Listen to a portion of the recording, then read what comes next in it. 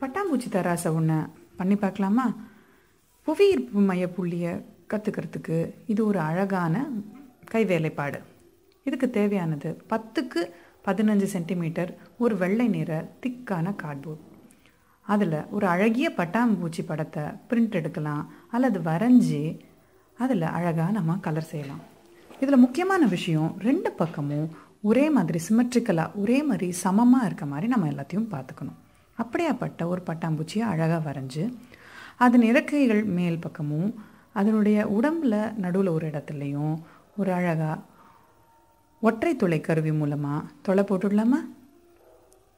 பாருங்கள் அழகாக பஞ்ச் பண்ணிட்டோம். இந்த தொலையை என்ன பண்ண போகிறோம்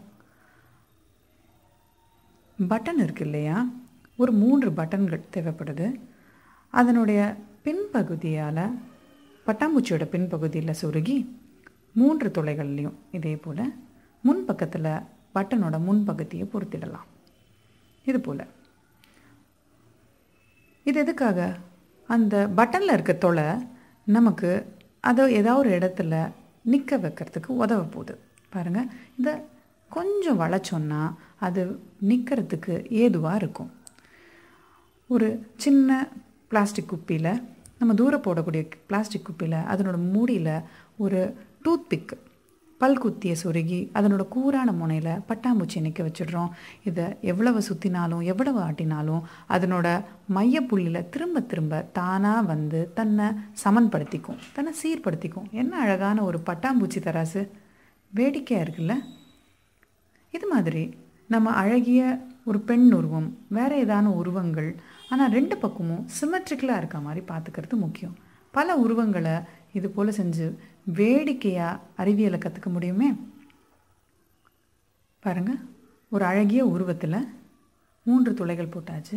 அதே போல் பட்டன்களை பொருத்தி நம்ம செய்யலாம். இதில் முக்கியமானது சமன் இல்லாத உருவத்தை எடுக்கும்போது மையப்புள்ளியானது இங்கே அங்கே மாறிட்டுருக்கும். அப்போ நம்மால் அதை சரியாக வைக்க முடியாது. மையப்புள்ளியை கண்டுபிடிக்க முடியலன்னா. அதனால தான் இந்த ரெண்டு பக்கமும் சிமெட்ரிக்கலாக இருக்கக்கூடிய உருவங்களை நம்ம எடுத்துக்கணும். என்ன சுற்றினாலும் அது அதனோட மையப்புள்ளியில் அழகாக என்ன ஜம்முன்னு வருது பார்த்தீங்களா பாருங்கள் தராசு. இது பொம்மை தராசு. ஜோரா இல்லை? அந்த சின்ன குழந்தைய பாருங்கள் என்ன சிரிச்சுக்கிட்டே அதை வச்சு விளையாடிக்கிட்டு இருக்கு. கொஞ்சம் காற்றுல அது என்ன அழகாக சுற்றிட்டுருக்கு